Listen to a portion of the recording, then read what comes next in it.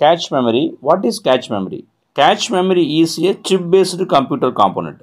Cache memory அப்படிங்கிறது ஒரு chip based computer component அப்படின்னு கன்சிடர் பண்ணுறோம் that makes retrieving data from the computer's memory more efficient cache memory என்ன பண்ணுது அப்படின்னா கம்ப்யூட்டர்ஸோட மெமரியிலிருந்து டேட்டாவை எஃபிஷியண்ட்டாக ரிட்ரீவ் பண்ணுறதுக்கு யூஸ் ஆகுது cache memory is a fastest memory available and acts as a buffer between RAM and the CPU cache memory அப்படிங்கிறது ஒரு ஃபாஸ்டஸ்ட் மெமரி அவைலபிளாக இருக்குது இன் கம்ப்யூட்டரில் and acts as a buffer between RAM and the CPU ரேமுக்கும் சிபியூக்கும் இடையே ஒரு buffer மாதிரி act பண்ணுறதான் cache memory also cache memory acts as a temporary storage area cache memory அப்படிங்கிறது கம்ப்யூட்டர்ஸில் ஒரு டெம்பரவரி ஸ்டோரேஜ் ஏரியா மாதிரி ஆக்ட் ஆகுது.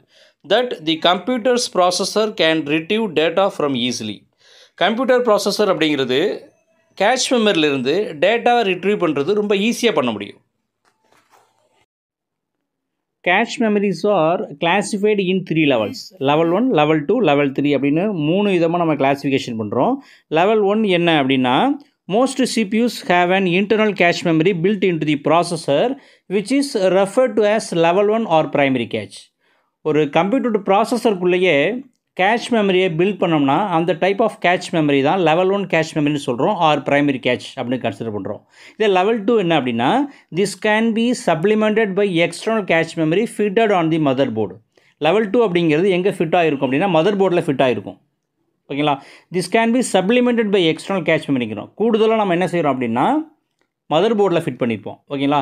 This is the level two or secondary cache. இந்த மாதிரி மதர் போர்டில் ஃபிட் பண்ணக்கூடிய அந்த கேட்ச் மெமரி தான் லெவல் டூன்னு சொல்கிறோம் ஆர் செகண்டரி கேட்ச் அப்படின்னு கன்சிடர் பண்ணுறோம் கம்ப்யூட்டரில் in modern computers level one and level two cache memory are built in to the processor die இப்போ modern கம்ப்யூட்டர்ஸில் level one level two cache memory ரெண்டுமே within ப்ராசஸருக்குள்ளே fit பண்ணுறாங்க If a third cache is implemented outside the die, it is referred to as the level 3 cache. ஒரு processor டையில் cache மெமரியை implement பண்ணாமல் outside the டையில் cache மெமரியை implement பண்ணியிருந்தோம்னா அந்த டைப் ஆஃப் கேட்ச் மெமரி தான் நம்ம லெவல் த்ரீ கேட்ச் மெமரின்னு கன்சிடர் பண்ணுறோம் கம்ப்யூட்டரில்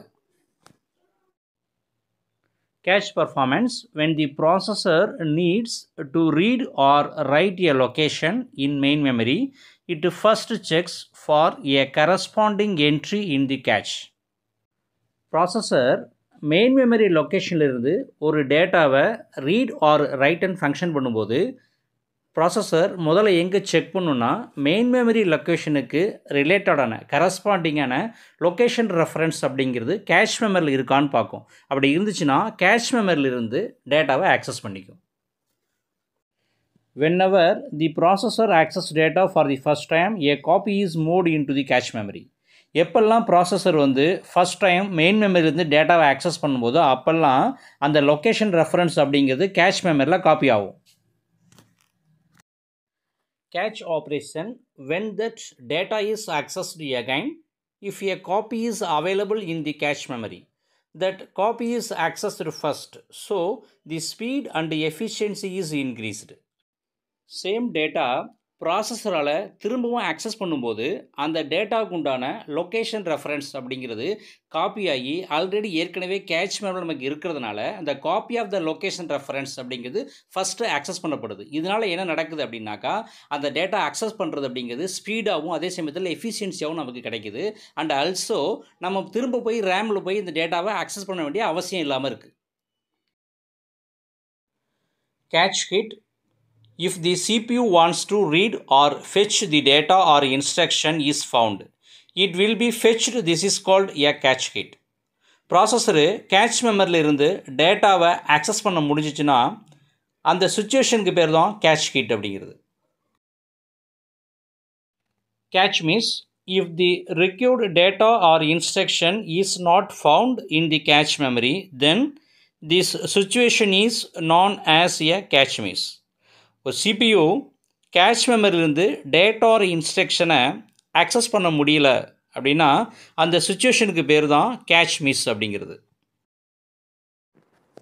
Cache concept what is cache concept take advantage of locality of reference principle locality of reference அப்படிங்கிறது தான் கேட்ச் கான்செப்டோட அட்வான்டேஜஸ் மெயின் மெமரியோட லொக்கேஷன் ரெஃபரன்ஸாக கேட்ச் மெமரி எடுக்கப்படுது. ஓகேங்களா? References data items also get localised that means same data items is referenced again and again reference data ஐட்டம்ஸ்னு எதை சொல்கிறோம் அப்படின்னா கேஷ் மெமரியில் இருக்கிற டேட்டா ஐட்டம்ஸ் தான் ரெஃபரன்ஸ்டு டேட்டா ஐட்டம்ஸ் அப்படின்னு கன்சிடர் பண்ணுறோம் ஆல்சோ கெட் லோக்கலைஸ்டு அப்படிங்கிற மீனிங் என்ன அப்படின்னா ஒரே மாதிரி டேட்டா திரும்ப திரும்ப நமக்கு ரெஃபரன்ஸ் பண்ணப்படுது.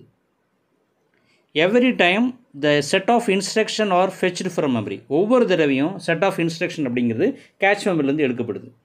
A cache is like short term memory which has a limited amount of space cache memory அப்படிங்கிறது ஒரு ஷார்ட் டேம் மெமரியாக இருக்குது ஒரு லிமிட்டட் அமௌண்ட் ஆஃப் ஸ்பேஸ் மட்டும் தான் கேட்ச் மெமரி நம்ம யூஸ் பண்ண முடியும்.